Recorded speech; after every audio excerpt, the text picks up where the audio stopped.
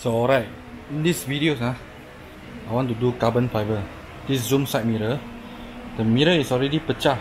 Ah, the A86 is I already bought the uh, zoom carbon fiber uh, mirror, but for this DC2, I bought the plain, and then I gotta do the carbon fiber by myself, and also this one.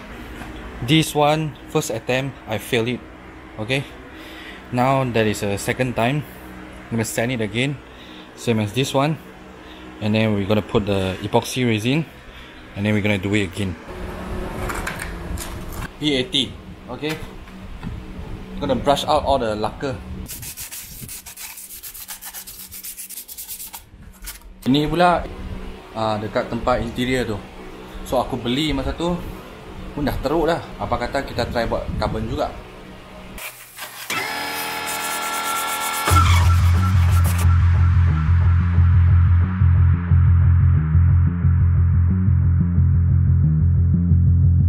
the next step kita kena pastikan dia betul-betul kering. Dia kering.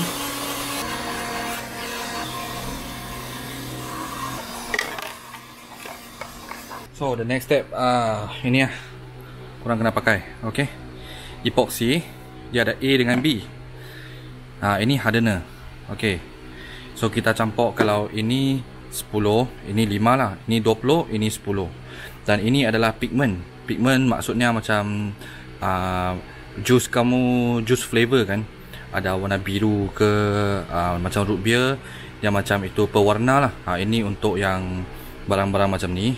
Tak sama lah ini pigment kita just letak berapa titik. Sebab kita nak bagi first layer tu carbon masa letak dia nampak hitam. Ha, so kita jangan nampak transparent kita pakai pigment ni. So sekarang kosong. Sini kosong.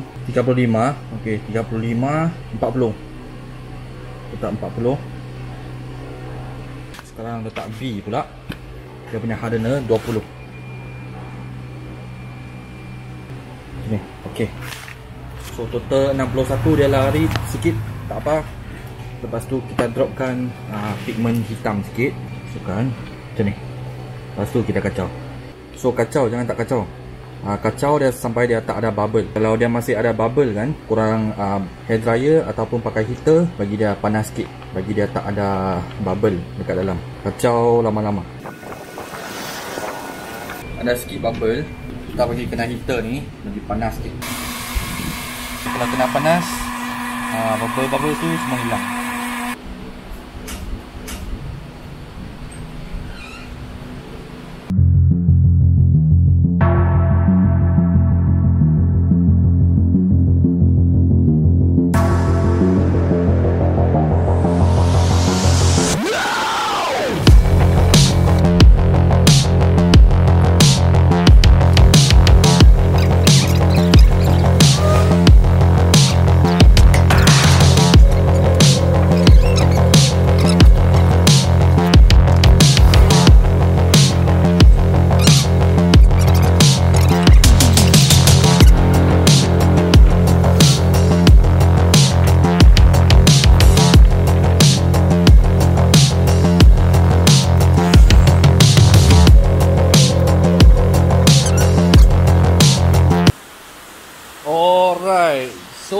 Alamak, tengah hujan pula.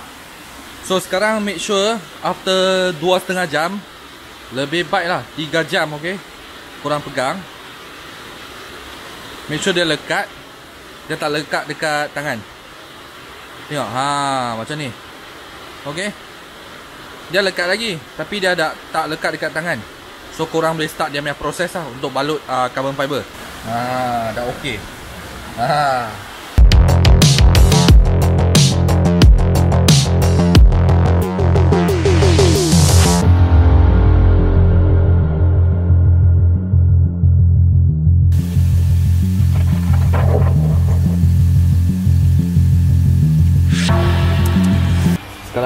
kita tekan.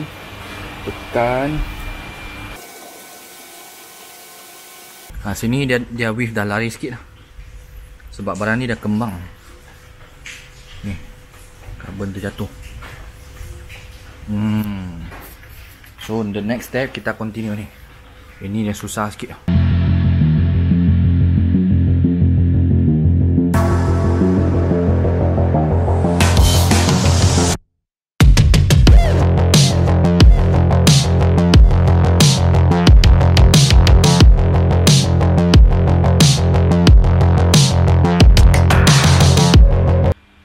So part kalau empat segi je ni Dia leceh sikit. Korang kena fikir cara macam mana nak buat. Ha, Korang kena potong macam ni. Lepas tu ha, Dia balut yang Tepi dulu Baru ni tutup. Kita potong bagi pendek sikit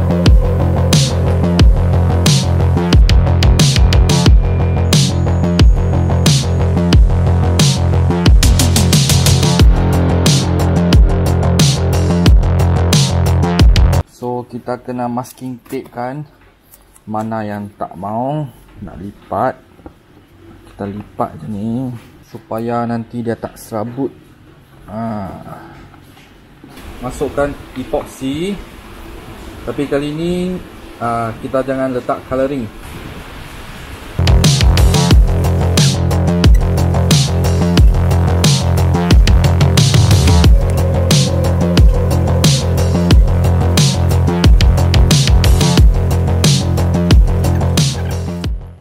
Okey, lebih kurang dah siap, dah sapu semua.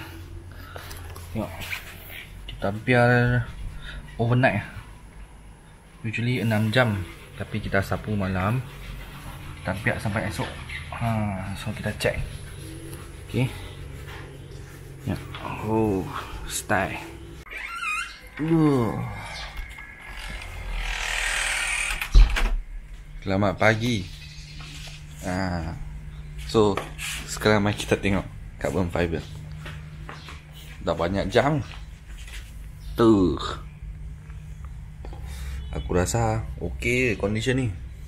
Boleh tahan. Oh. Dah keras. Dah keras. Okay So kita kena sand Sedikit lah. Kita sand paper. Tengok ni. Alamak. Kita sand sedikit Lepas tu kita sapu satu layer ni.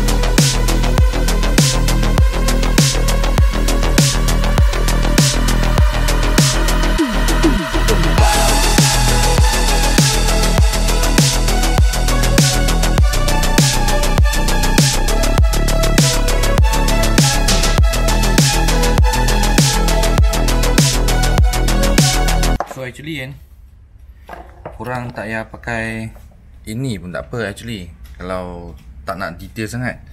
Pakai ini pun boleh dah Sebab dia satu layer je. Dia sangat senang untuk Potong. Senang. Senang sikit. Ha, Tengok. So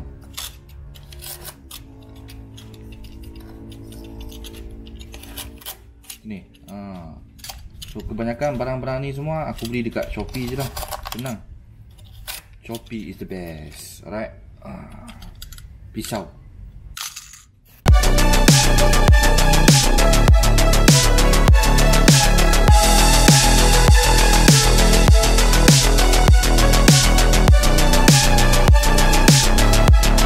So, ha ni second layer dah siap. Ha, kilat oi. Tengok. Uh. Nah, second layer dah siap. Sapu epoxy. Lepas dia kering around 6 jam Make sure dia dah confirm kering uh, Kita nak gores dengan uh, kertas pasir oh, Kertas pasir Lepas tu kita check sekali lagi Okay so seterusnya Kita kena gosok Okay gosok sampai dia punya ini uh, Epoxy ni Dia nampak straight ha. Sebab dia kembung-kembung Tebam-tebam ini macam ah. Nanti orang mau letak the second layer nanti tak cantik. Ha, susah mau buat kerja. So, kosong dulu. Sampai dia rata. Adrian pakai uh, P80 Cepat sikit lah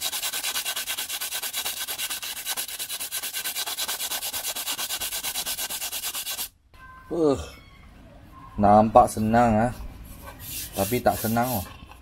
Tengok Ada tempat yang hitam-hitam ni Maksudnya kita tak uh, Kosok sampai rata lagi hmm, Tengok senang Buat tak senang Ni belakang belum gosok lagi.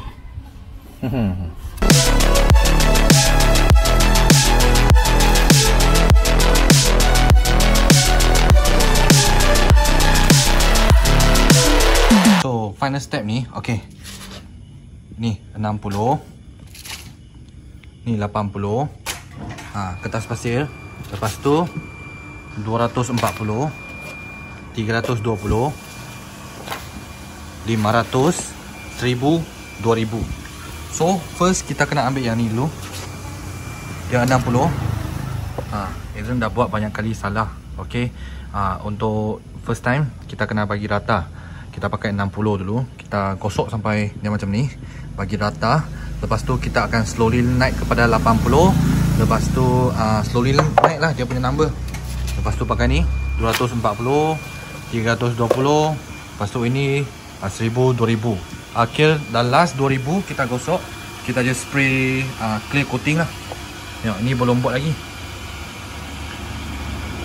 Make sure korang kena gosok sampai titik-titik hitam tu hilang ha, baru korang akan perasan dia rata yang ni ada lagi so kita kena gosok sampai rata semua ni baru perfect ok Ha, kenapa kita kena pakai kertas pasir dengan air?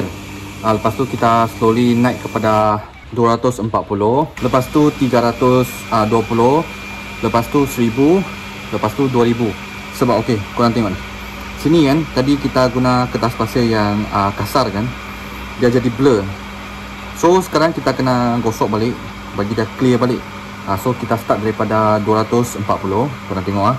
Before after ah. Dekat sini ya, tengok ah. Okey, inilah magic. Tengok ah. Korang gosok.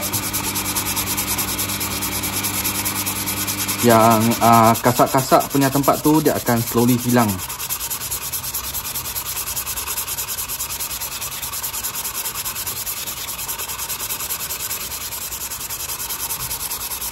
Okey, lepas tu kita cuci dengan air. Ah, tengok dia dah cantik balik, clear balik. So kita akan pakai lebih halus punya lah Kita semakin gosok bagi dia semakin halus Baru kita spray uh, 1K atau 2K punya coating. So setengah orang dia pakai 1K Setengah orang dia pakai 2K uh, 2K punya coating Macam itu samurai punya spray Itu kurang boleh pakai cuma sekali saja. Dia tak boleh tahan lama. Uh, Lepas tu kena buang. Uh, Sebab dia boleh keras So I beli 1K lah Yang 1K tu kita boleh simpan Yang macam anchor punya cat Masa kurang pakai-pakai-pakai yang masih boleh simpan. Uh, setengah orang dia pakai polishing wax. Uh, polishing wax yang ada pasir macam polish kereta punya. Mereka polish pun boleh juga. So depends on kurang macam mana lah nak buat finishing dia. Okay guys, ni cat yang aku nak pakai. Samurai 1K. Ni kan, kena kurang kena jaga dia dalam punya uh, dia punya bola. Yang ni dia bukan macam anchor. Anchor kurang goyang. Ini kurang kena macam ni. Sebab dalam ni dia guli, dia bukan besi. Takut dia pecah, kurang kena macam ni. Mari kita try eh. Tengok. Ni dah after kikis uh, 2K. 2K punya kertas pasir 2000. Kita spray tengok. Tengok. Shining.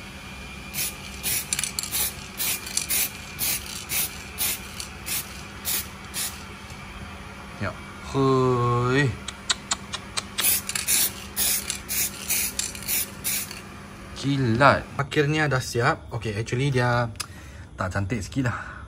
Sebab pertama kali mah. Tetapi apa yang aku buat Aku memang happy lah. Sebab Buat sendiri mah. Ha, Dia macam mana Tak cantik pun Tengok dia punya weave tak cantik sangat. Sebab Kalau betul-betul kan Kurang kena pakai uh, Itu samurai 2K ha, 2K dia pakai sekali Dia dah tak boleh guna. Tetapi itu dia ada uh, epoxy dekat dalam. So dia cantik sikit. I pakai 1K punya clear coat So dia tak cantik sangat lah. So pertama kali Memang macam ni lah. Tapi aku dah puas lah. Okay So kita kena tukar sekarang. Ni lama punya Ni baru. Shh.